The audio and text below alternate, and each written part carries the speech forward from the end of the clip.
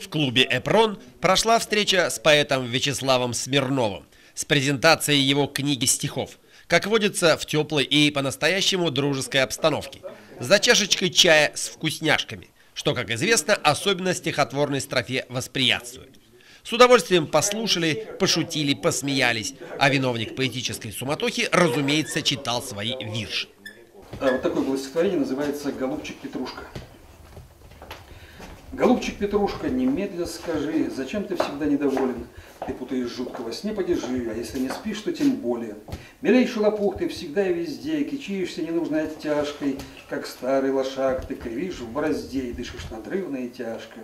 И женщины были, и вина лились, и всякие трюки творились.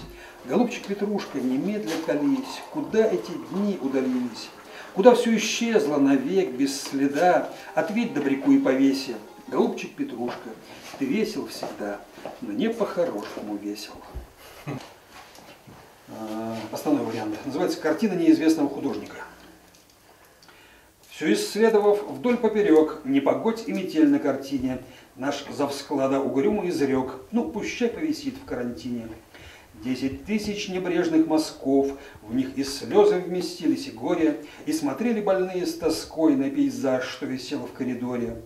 Иногда параноик Петров донимал нас дурными, дурными парами, вдохновленный порывом ветров и скупыми, как совесть, тонами.